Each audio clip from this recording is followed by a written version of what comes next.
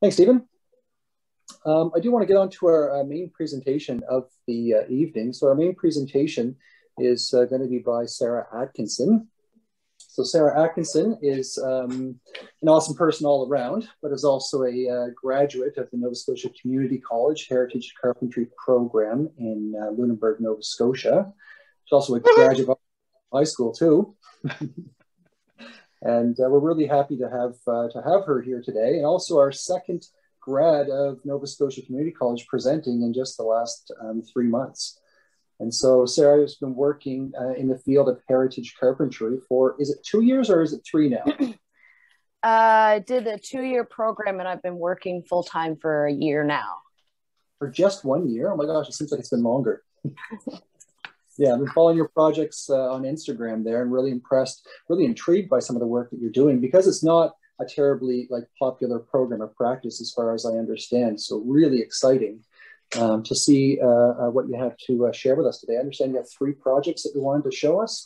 Um, well, it's, it's going to focus mainly on one, the same principles of restoring windows sort of apply um, to every project with variables, of course. Um, mm-hmm. But to just sort of keep it concise, I've sort of focused on one project with examples from others, if that's okay. Awesome. Um, one of our uh, current members and actually our past uh, chair is actually uh, has a lot to do with Nova Scotia Community College. So that's Stephen Parsons. You've heard him ask a couple of questions. I did. I I uh, was listening in and I had heard Stephen, you're with NSCC, and I was actually wondering in what capacity.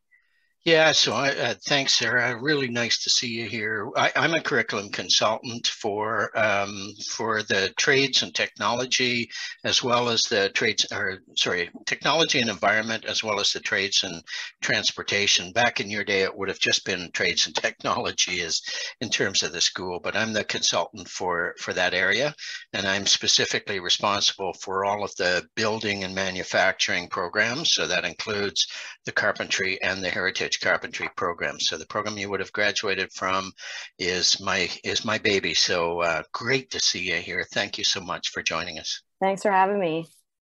He also wants everyone to know that he's just doing that for another seven days. So that's the current countdown. Okay. I guess congratulations, or I, I don't know.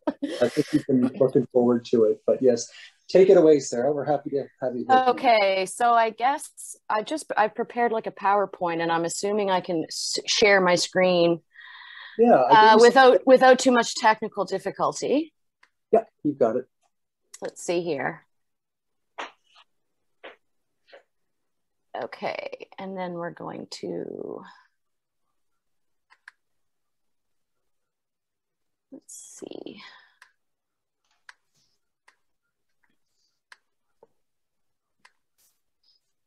Okay, we've got it, Sarah. Thank you. We have something? Yeah. Yep. Great. Yeah, okay, I'm seeing it as well. So here we go. So just a brief introduction. As Brad said, I'm uh, Sarah Atkinson. I grew up in Cole Harbour actually with, with Brad. Um, we went to the same high school and everything. Uh, carpentry is not my first career. It's not my second second career either. Uh, but maybe it'll be my last. Um, I did. I completed the two-year Heritage Car- Carpentry program uh, last April. I did a brief work term um, two summers ago, which would have been in between my first and second year, um, but it wasn't in the heritage field, uh, which is something that I was really interested in. So uh, after graduating, I've been employed with Edwards and Quarry Restoration and Custom Builders. Um, uh, with projects focused mainly down here on the South Shore. Um, and I've actually recently started taking on some projects of my own, garnering interest from, you know, in window restoration from, uh, you know, my social media accounts, like like Brad mentioned there. And uh, it really with restoration projects and windows uh, in particular, it, it takes a woodworking and a homeowning enthusiast or you know restorationist to share like a true appreciation for the traditional wooden window. It's you know it's an air, area of carpentry not many people delve into, uh, and like likewise, it's not the most common route that homeowners take when they're renovating or restoring. Um, some of our registered heritage property bylaws, especially in the Halifax area, I understand are a lot more strict uh, than they are here. Um, so you're actually required to restore your wooden windows before you replace them whenever possible on a registered historic uh, site in Halifax. Um, in Lunenburg, it's um, not as strict, but it seems to be uh, in keeping with the tradition. So you have these owners, homeowners that really do appreciate um, the tradition of their home. Okay, let's see here. Um, and so I've been fortunate to find some of these, you know, people here appreciate the integrity, the character, and the warmth of a, you know, wooden window. It really does contribute to the heritage value. Um, and this most recent project here is uh, in Chester, Seven Frida's Point Extension. It's right down on the water. And you see the on the top floor those three sets of windows, but we replaced all the southwest facing windows on the water side of course, facing the water, they're going to get a lot of weather and uh, damage um, out there close to the coast. Uh, so we did uh, 36 windows total from around the back and side there. Let's see here. And this is this painted lady, we call it, at 75 uh, Dufferin Street. It's a registered heritage property here in Lunenburg, and it's really a standout on your way down into uh, Lunenburg. It's on the main drag. If you have the opportunity to come by, you can't miss it, obviously. and the detail is is really magnificent. It's got a five color scheme. Um, this house was the plans for the restoration started about 10 years ago, and we just finished uh, this past winter. Um, so that one was a real joy to work on. The job for me uh, was 50 windows total. So that's 100 sash and the 50 accompanying storm windows that went on top. Wow. It was a yeah. full, full restoration. Um, and that was my first first project. no pressure. let's see here.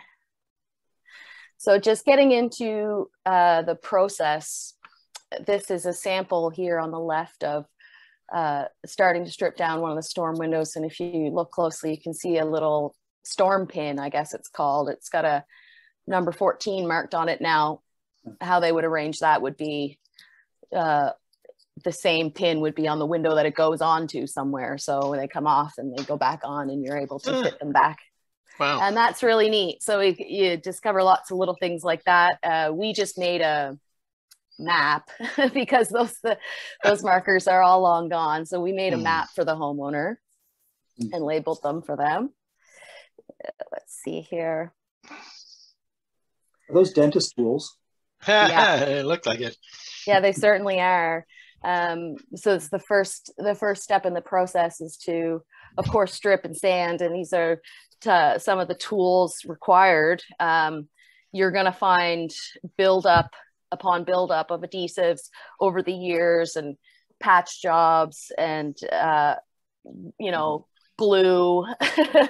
Um, so and getting in around if you can see on the right there's a it's a very dull profile right and the profile is almost worn away but those dental tools come in handy um, getting in the ogees and those uh, really intricate profilings. Uh, let's see here.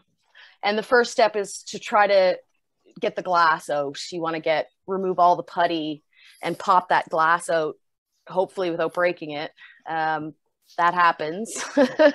it's uh, stressful, but you want to keep, you know, hopefully your goal is to put that same glass back in. Um, Whoa. So you pop it out gently, and you can use uh, like a heat gun on that. Um, you know, apply a little bit of heat will loosen up stubborn putty.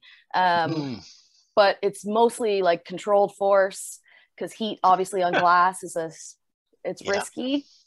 you know. Uh, let me see here. Where are we going? And the, once they're all stripped, you're going to have them, you're going to sand them right back down to the original wood. Wow. And here's where you're going to discover yeah all the issues and repairs and pretty consistently every window would have one bad joint hmm. um, uh, some maybe not again depending on the location on the house uh, southwest facing uh, on the ocean close to the coast is really a lot of variables and even hmm. within one window if one side of the window gets more sun it's really interesting to see what can happen over 100 to 150 years of wear and tear all right. So we have it here. We sand it down to the original wood. You're going to set that glass aside. And let's see here. This oh. is another uh, reveal. You can see a tiny remaining bit of a tenon there. Mm. Um, but we somebody used a screw to, you know, just again, it's a quick patch job, and that's a rusted old screw, which we took out of there. Um, we use no fasteners uh, used in a wooden window. So it's mm. all uh, mortise and tenon uh, and combination epoxy on repair work. Mm. So commonly picking out bolts, screws, uh, mm-hmm. yeah. lots of bugs, nails, and, nails, yeah. yeah. Um, and old forged nails as well, and yeah. from from wherever for whatever purpose. Mm. So the repair process, like I said, it can be somewhat extensive. If you're missing a tenon, we build a new one. And this one here, you can see would just attach sort of Dutchman stile, consolidate with the existing rail and mm. or style, and that would that hollowed out mortise, which would be filled to sort of receive the new the new tenon. With putty? Uh, we would use epoxy. Okay. Yeah, it would be an epoxy filler for that. Okay. And let me see if I can. And here's another example. Now, this would be a storm window cross rail where we had to recreate the cross rail, which was about uh, 18 inches long, and it was the old piece was there was only about 12 inches of it left so we, uh, we needed another cross rail to hold that glass mm-hmm. in place there so it's another sort of interesting part of the job where it's not just fixing up the old stuff but uh, recreating it in a new way um, to look like how they did the old way i guess yeah how, how do you build that profile so this one would be copied uh, thickness and width, depth, uh, just on a router table. Mm-hmm. Yeah. yeah. That's how you create that. And, you know, I don't know how they did it. So it's not going to be exact, but it's, uh, yeah. they're pretty darn close. Yeah. Mm-hmm. Yeah. Okay, let's see here. We got another sample here, very similar cross rail combined with the old hollowed out mortise, which is filled with epoxy. Mm-hmm. That red tape there, you can see that's just a red tape around a shim uh, to sort of provide a little epoxy dam there on the rabbet. Right. yeah. And so once we get that, and here when I'm talking about the epoxy system, this one is the actually the only one I've used. I know there's like DAP has a all-in-one product and Bondo and there's so many. Uh, this one's really great. The the liquid is a consolidant that you can apply to, you know, old wood to harden and strengthen it so it's able to hold a new joint.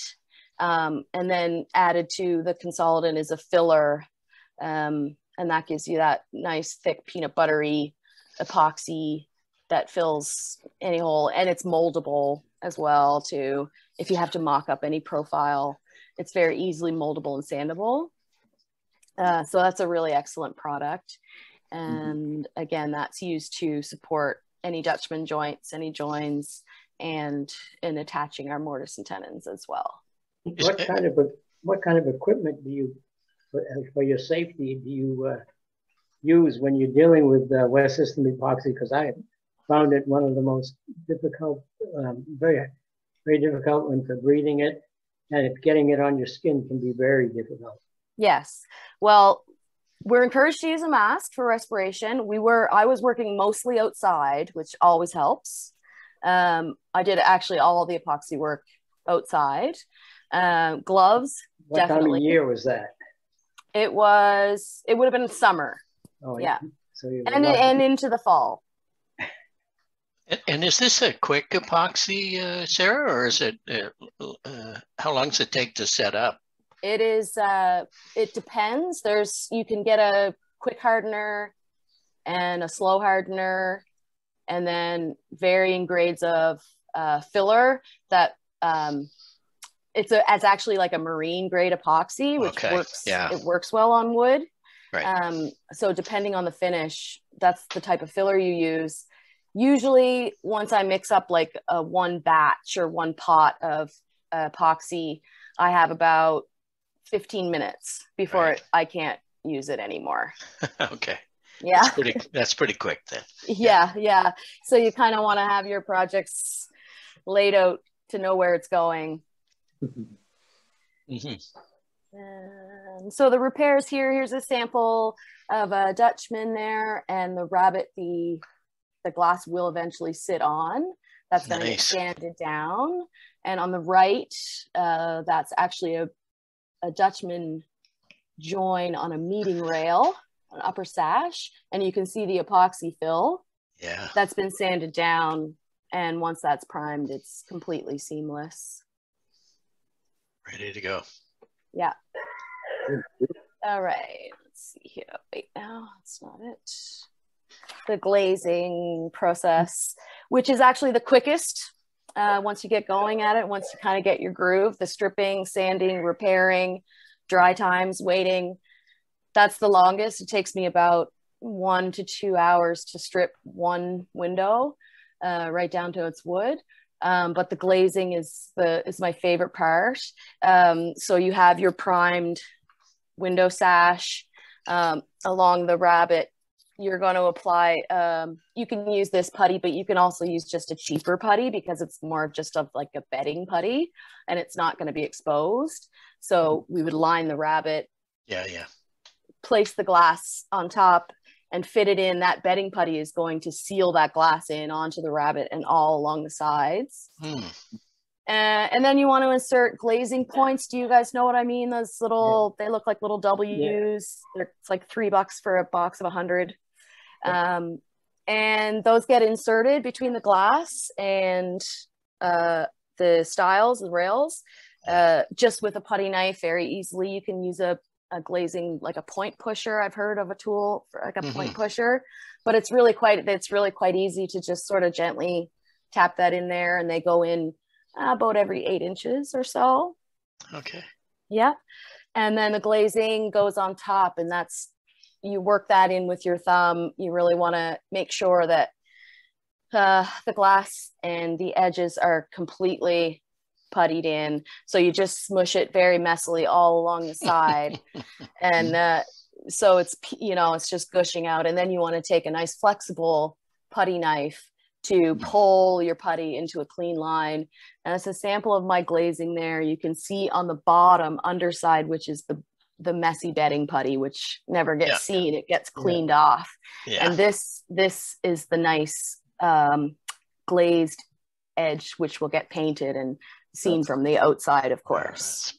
Beautiful technique there. Same, is this the same as the old fashioned putty that people use? It's most similar. It is, uh, it's not a hundred percent natural. Um, I've used, um, I've used an all natural linseed putty and I found mm. it not, it's excellent product. It's not easy to work with. Mm. Um, there, you have to melt shellac and uh, there's a yeah it's it's it, you have to it, you mix it. So there's a consistency issue and this is all in one. It's very flexible. It's a half sort of halfway between natural and synthetic. And and what's your working time? What's your working time with this multi glaze in meaning?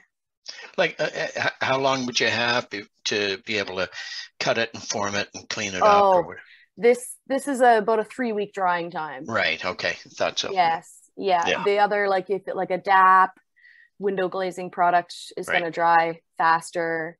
Um, again, it's all depending on your product. Um, this is and then the do you get that, much shrinkage or movement of it?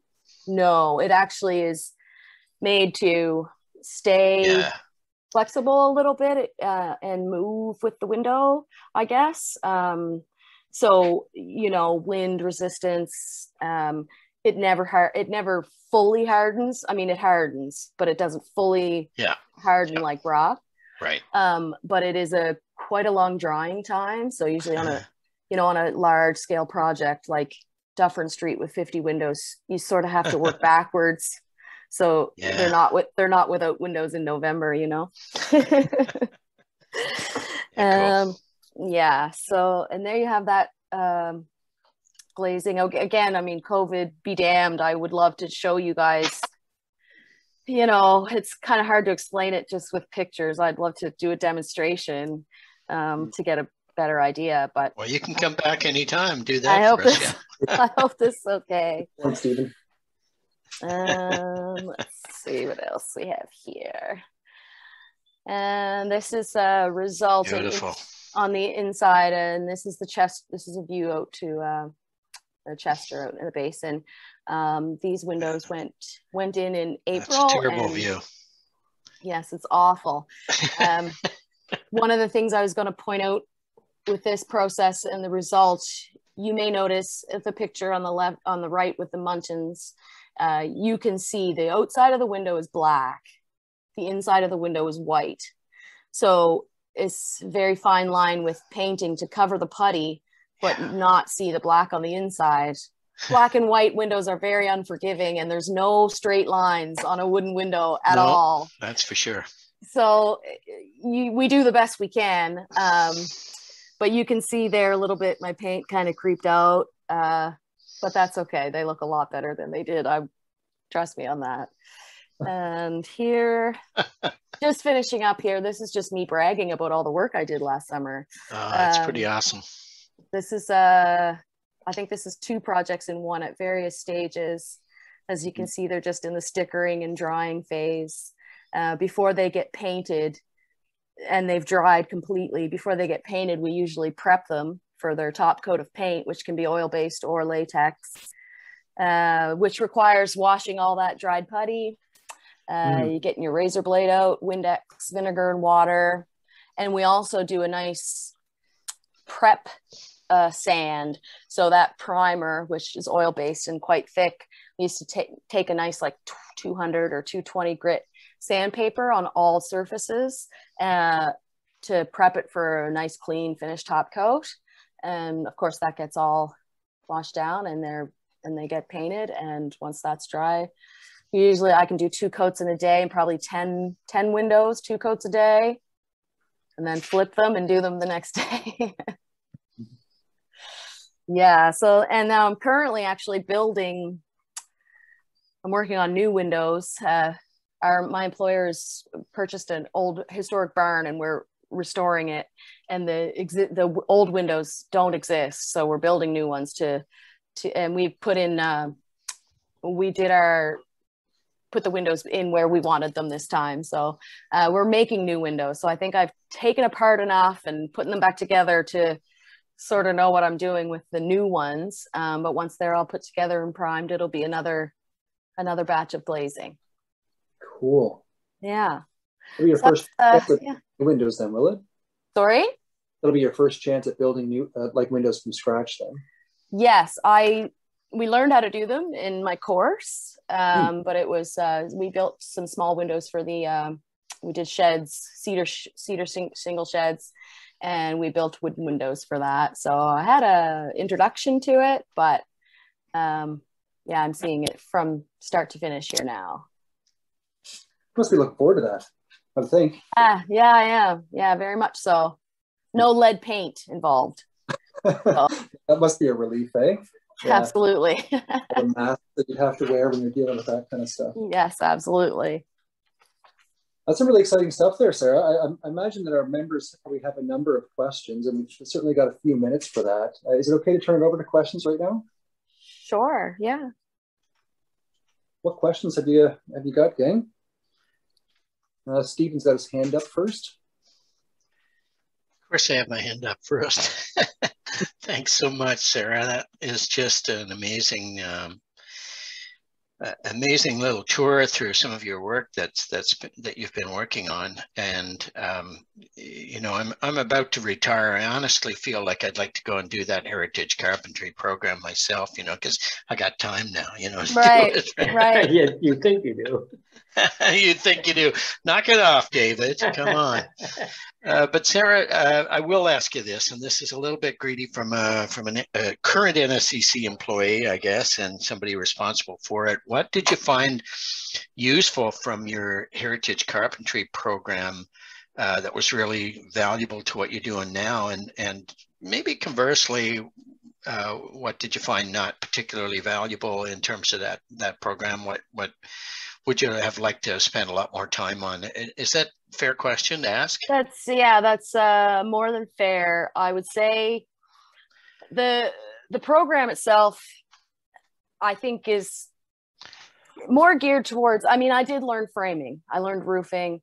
Um, I would have liked to have seen more practical heritage training, uh, but we did receive a lot from the communications aspect of the course where we learned about the standards and guidelines of historic properties in Canada um, and historic significance. And I think with the Heritage Carpentry program, it's what you want to get out of it um, is is what you get out of it. You know, it's.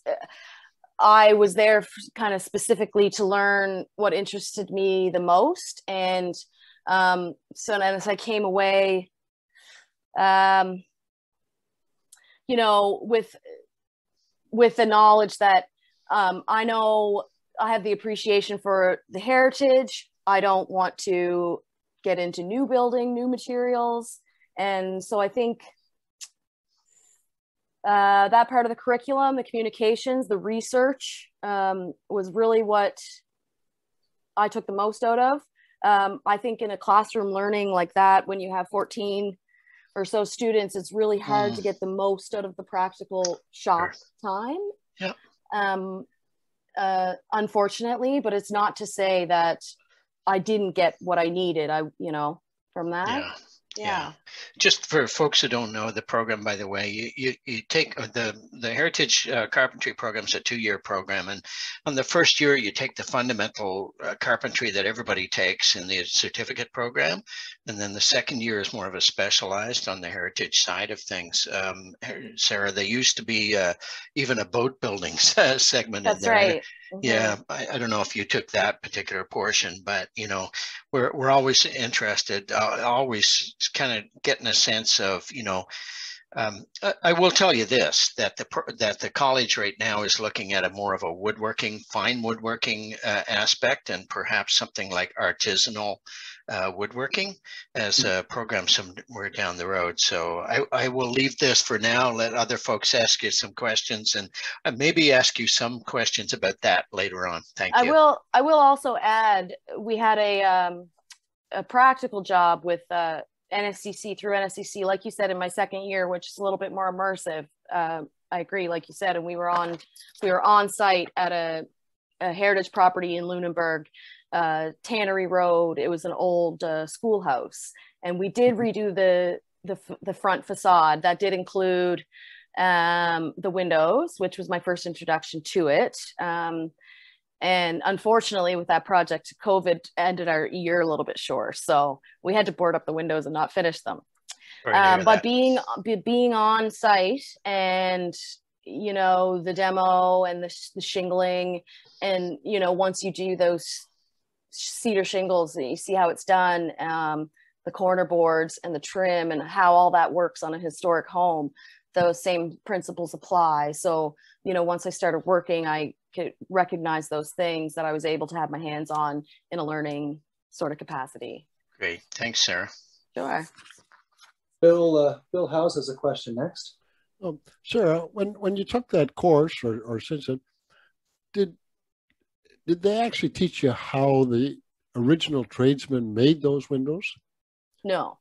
And no. Uh, which which uh, well then I'd, I'd, recommend to you two things.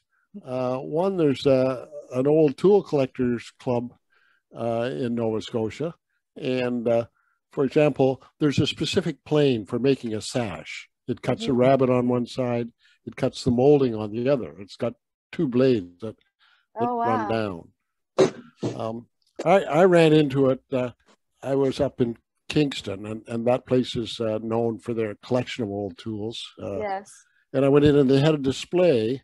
Um, and actually, an entrepreneur there had somehow uh, worked out a, a, contract with the government that he would take the prisoners from uh, uh, the jail and make them his uh, window makers. And, oh. and so it, it now the wood that you're working with, you will never see again. It's not free. It's uh, straight grained, and you mm. could use hand tools like that.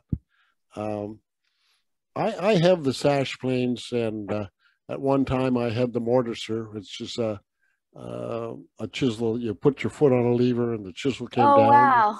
and and took it all out. Uh, I gave that to the museum up in Musquodoboit. But uh, I think, like anything, if you see how a tradesman made things, and now that you've taken them apart, you can build them. And mm. it's it's too bad they didn't show you that in the course. Uh, in some ways, that uh, mm-hmm. it's it's like getting out the parts manual when you're trying to repair a tool. Yeah. Right. Yeah. Neat stuff, eh? Yeah, very. Yeah. You can learn a lot from taking apart old furniture and oh, absolutely, and and, and, and windows and uh, and and the buildings themselves too. Yes. Yeah. Uh, you, were, you got to remember they were all built with uh, a hammer and a saw. That's right. And it's interesting, it's interesting to see in a lot of the old homes, especially in the attics and the beams and the the old saw marks and the marriage marks at joints, and it's fascinating. Yeah, yeah. I saw you coping one of the joints. Uh, that's mm. an old. Uh, yeah. yeah. Good for you. Good for you. and a nice presentation. Thank you. Um, Callum had a question as well, and then Don is next.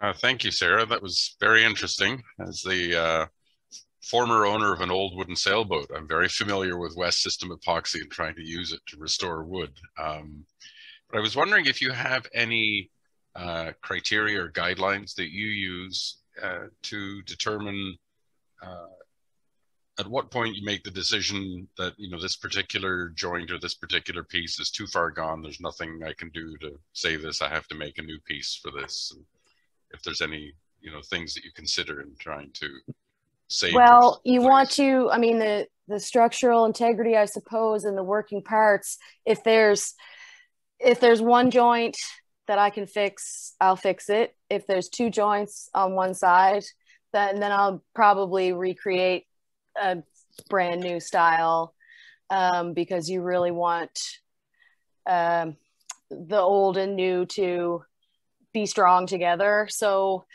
and it has happened where we will just take. I mean, I have a one window which you could cut a diagonal. One side of it's old, and one side of it's new.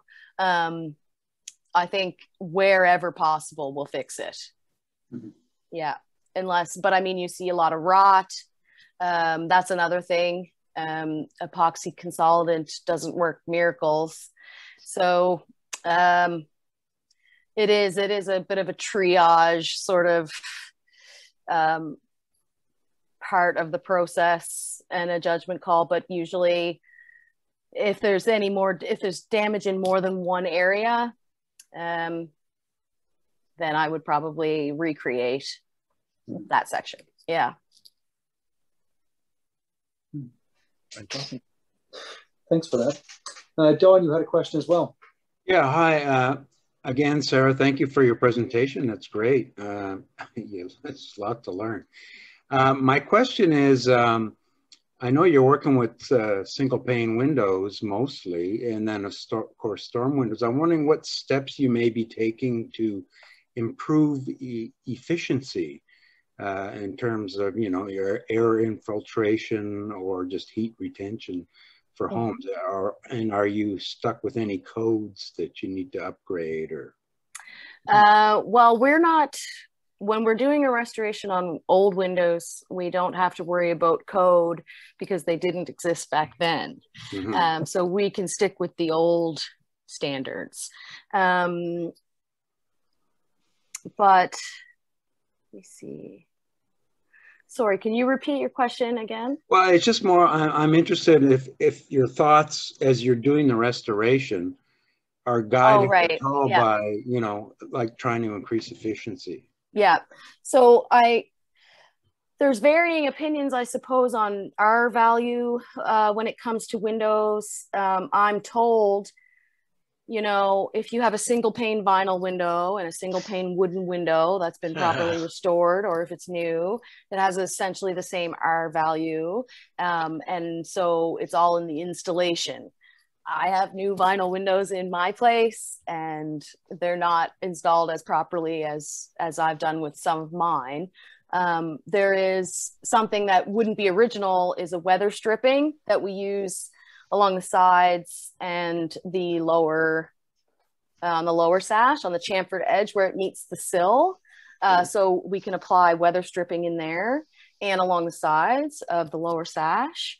Um, so when that's going up and down, there's that seal. The storm window, which not all homes have maintained their storm windows, um, but even with a newer aluminum over the wooden, uh, is going to help that as well, of course, in the colder months.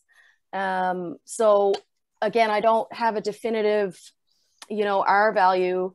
Um, I think when I talk about, you know, these picky homeowners with appreciation for that's what they have. They want the they want the wooden window for the heritage value, which trumps any um, benefit they could get from a newer window.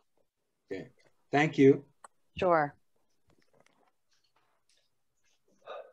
Okay, I think that's all the time that we have. Um, but I really wanted to echo everyone else's uh, uh, thanks and comments there. I'm really thrilled to, of course, uh, see you again, but also to have you here showing off your, your skills and experience. It was really quite a wonderful um, presentation and some things that we don't commonly see as well. So really quite a, I realize you got quite a niche market there and I'm really um, a little bit envious of the really cool projects that you get to, to do um, in spite of having to work around lead paint all the time.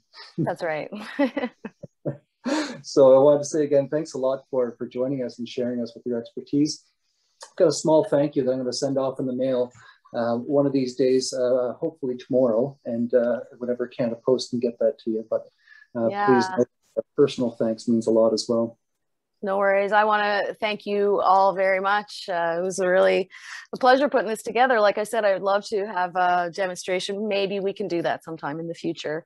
Um, instead of me just sort of blabbing about it and remembering the steps, it's always easy to demonstrate. But uh, I really appreciate you guys having me on. Yeah. Well, again, thanks. And uh, yeah, that would be a nice uh, future thought there to have a proper uh, demonstration um, uh, at a certain time or even a road trip down to some of the projects that you've recently worked on. Certainly, and my family is in Dartmouth, so I'm in and out of the city all the time.